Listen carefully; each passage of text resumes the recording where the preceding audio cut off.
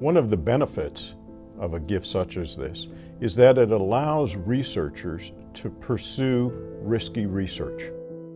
Cancers ranging from breast cancer to prostate to childhood cancers, Alzheimer's, Lou Gehrig's disease, muscle diseases. These are problems that are oftentimes not fundable through traditional governmental sources.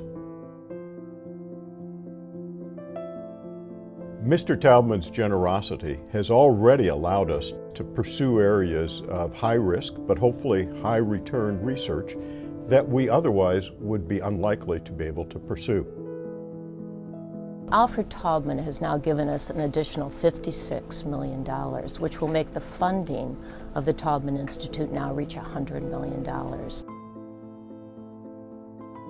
What this is going to allow us to do, and when I say us, I mean many biomedical researchers here at the University of Michigan, is to translate what we find here in the laboratory into our clinics. That is for clinician researchers, clinician scientists. And these are individuals who both see patients at the hospital and in our clinics and also run laboratories. So what it allows is for these scientists to take their discoveries from the laboratory and translate them into new therapies into patients. Benefactors, such as Mr. Taubman, allow us to do these studies, allow us to hopefully make a major contribution to the understanding of health and disease and to alleviate human suffering.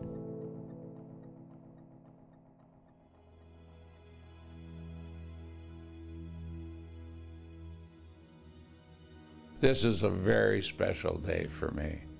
It's the culmination of years of collaboration with a great scientists at the University of Michigan.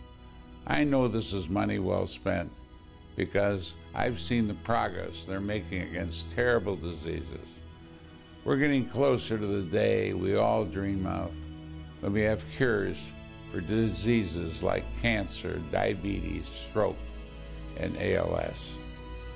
I haven't known any, any philanthropist in my life who put as much uh, of his personal uh, work and personal reputation on the line and his resources to change public policy for the better. It is astonishing. Mr. Taubman recognizes that we need to go beyond current funding resources to fuel the kind of research that the world needs. You gave us all such hope, and I am deeply, deeply grateful, as we all are. Thank you very much. So, congratulations.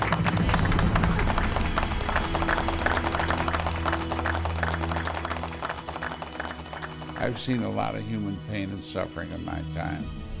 Our overriding mission at the Taubman Institute is to ease that suffering and end that pain. When you have a visionary philanthropist like Alfred Taubman in your corner, anything is possible. And it is our honor and our privilege to rename our building on the medical school campus as the A. Alfred Taubman Biomedical Science Research Building.